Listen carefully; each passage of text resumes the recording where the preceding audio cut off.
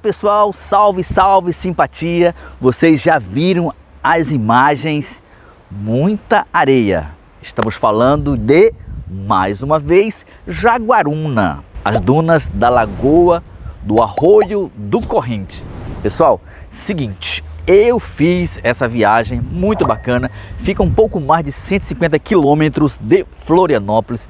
Eu subi os morros, desci, enfim, fiz todo um trajeto que um turista pode fazer para desfrutar aquelas maravilhas da natureza. Então, pessoal, olha só, se você quer uma aventura muito bacana, Jaguarona é a pedida.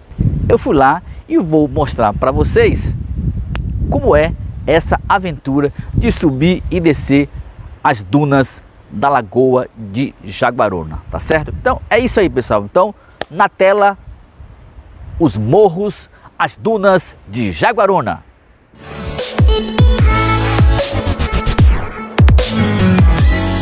Quem visita Jaguaruna, a cerca de 157 quilômetros de Florianópolis, não pode deixar de visitar as diversas dunas que levam à famosa lagoa do Arroio Corrente.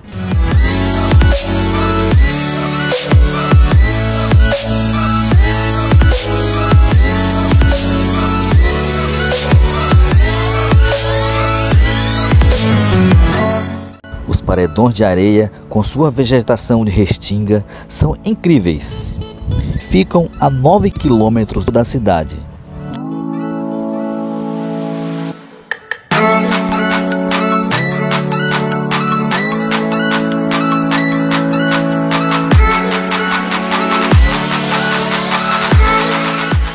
São cerca de 15 minutos de caminhada pelas dunas até chegar à lagoa, cartão postal da cidade.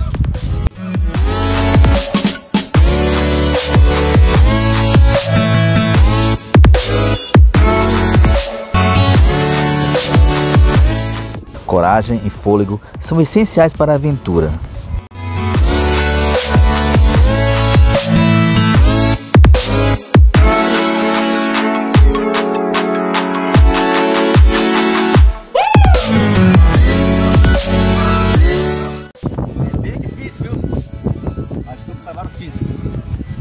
O sacrifício da caminhada vale a pena.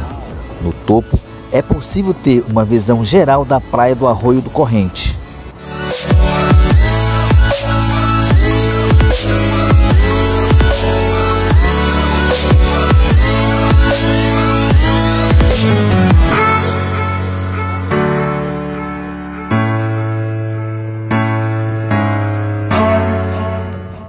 As dunas são ideais para a prática de sandboard, o surf de areia.